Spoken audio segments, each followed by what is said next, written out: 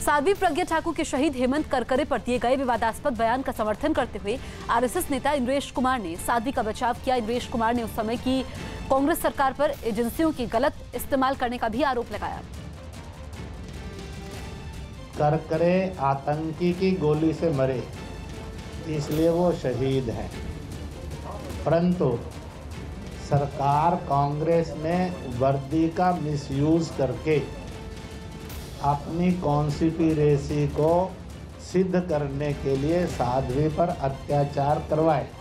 इसलिए जहाँ बलिदान का सम्मान है, परंतु उसके अत्याचार को भी अंकित करना ये ज़रूरी है। इसलिए मैंने इसको किया था।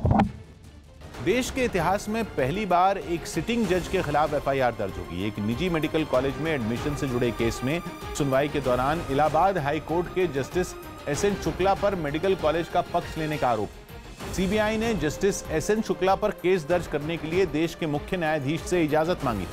और सीजीआई रंजन गोगोई ने एफआईआर दर्ज करने की इजाज़त दे दी जिसके बाद पहली बार किसी सिटिंग जज पर एफआईआर का रास्ता साफ़ हो गया। माना जा रहा है कि भ्रष्टाचार के इस मामले में जस्टिस एस एन शुक्ला की गिरफ्तारी भी हो सकती है।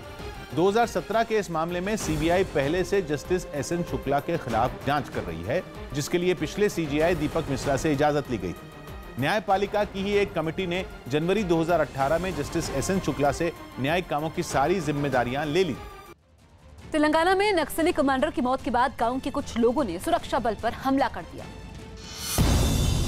तेलंगाना की भद्राचलम में नक्सली मुठभेड़ के बाद गाँव के कुछ लोगों ने सुरक्षा बल के जवानों पर हमला कर दिया, जिसमें कई जवान घायल हो गए। छत्तीसगढ़ की बस्तर में आईडी की चपेट में आने से सीआरपीएफ का एक जवान शहीद हो गया, जिसके बाद उसके पार्थिव शरीर को कैंप तक पहुँचाने के लिए नाव का सहारा लेना पड़ा। मध्य प्रदेश की नीमच में भारी बारिश की वजह से सरकारी स्कूल की छत का एक हिस्सा गिर गया। जिसमें चार बच्चे घायल हो गए। बिहार के दरभंगा में आई बाढ़ के बीच कुछ लड़के खतरे के निशान के ऊपर बहती नदी पर बने रेलवे पुल पर खड़े होकर सेल्फी लेते नज़र आए। उरी में पाकिस्तान की तरफ़ से हो रही फायरिंग का जवाब देते हुए भारतीय जवानों ने पाकिस्तान की पोस्ट को निशाना बनाया। मध्य प्रदेश के गुना में प्रशासन ने छापेमारी कर जहरीले रंगों से नकली मसाला बनाने वाली फैक्ट्रियों का पर्दाफाश किया। रूस के साइबेरिया में एक बार फिर भारी बारिश की वजह से बाढ़ आ गई। एक महीने में दूसरी बार आई बाढ़ के बाद वहाँ के कई इलाकों में आपदा विभाग ने कई टीमों को रवाना किया। क्योंकि दोबारा आई बाढ़ वहाँ के लोगों के लिए बड़ी मुसीबत लेकर आई, जिसकी चपेट में आने से कई रिहायशी इलाके फिर पानी में डूब गए। आसमान से देखने पर वहाँ के कई मकानों की केवल छतें ही नज़र आईं। न तो सड़कें दिखी और न ही लोगों के खेत या वहाँ के मैदान नज़र आए। हर जगह पानी ही पानी भर गया। हालात ऐसे हो गए कि बचाव दल को नावों की मदद लेनी पड़ी। एक इलाके में नदी का किनारा कटने से पानी रिहायशी इलाकों में घुसता दिखा। बिजली का एक खंबा तो पानी के तेज बहाव में गिर पड़ा।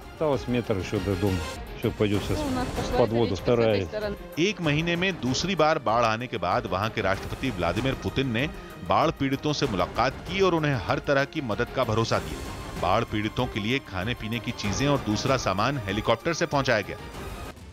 पटना में कूड़े के एक ढेर में अचानक आग लगने से हड़कंप मच गया। ये आग सबसे ज़्यादा भीड़भाड़ वाले डाक बंगला चौराहे के पास लगी। जहाँ कूड़े का एक बड़ा ढेर भीषण आग की चपेट में आ गया और तेज़ी से जलने लगा। आग की लपटें दूर से ही नज़र आ रही थी और उससे उठने वाले धुएँ की वजह से वहाँ का आसमान काला नज़र आने लगा। दमकल के फ़ोन करवाओ भाई दमकल के। इस आग की खबर तुरंत दमकल विभाग को दी गई, क्योंकि जिस जगह आग लगी थी, उसके आसपास कई दुकानें थी, जिनमें आग के फैलने का डर था। मौके पर पहुँचते ही दमकल विभाग के लोग आग को बुझाने में जुट गए और पानी की तेज धारा से कुछ ही देर में आग को बुझा दिया। आग बुझते ही आसपास के लोगों ने राहत की सांस ली। कंगना रनौत और राजकुमार राव की फ़िल्म जजमेंटल है क्या?